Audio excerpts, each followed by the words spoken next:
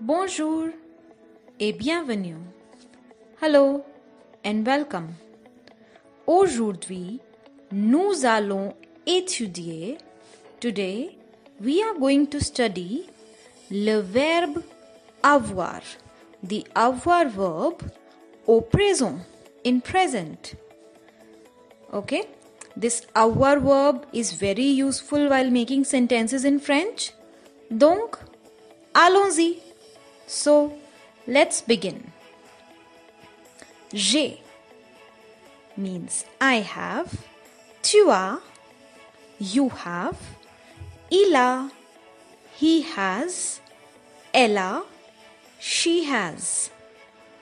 Nous avons, we have, vous avez, you all have, ils ont, they have, elles they have. Okay? So, ils ont, as we already know, il is used for either all masculine or masculine and feminine. That is a mixed group of males and females. And elles is used for a group comprising of all females. Okay? So the avoir verb is conjugated as j'ai, tu as, il a, elle a, nous avons, vous avez, ils ont, elles ont. Can you listen the sound z when I say nous avons, vous avez, ils ont, elles ont? So why is this z sound pronounced? This is called liaison.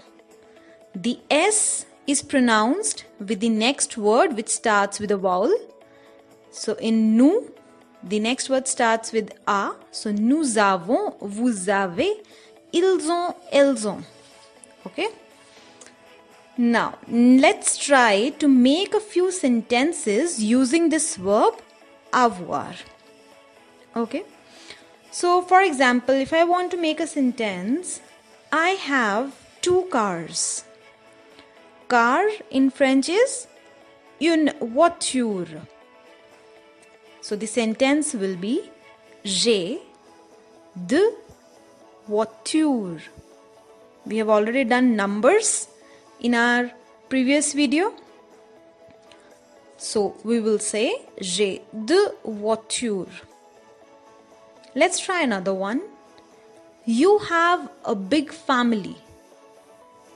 So you have will be tu as une grande famille. Let's try one more sentence. She has a small cat. Small in French is petit and cat is chat. So the sentence will be Elle a un petit chat.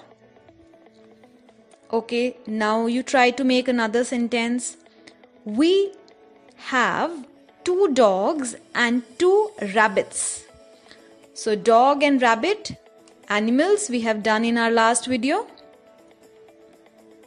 So, the sentence in French will be Nous avons deux chiens et deux lapins.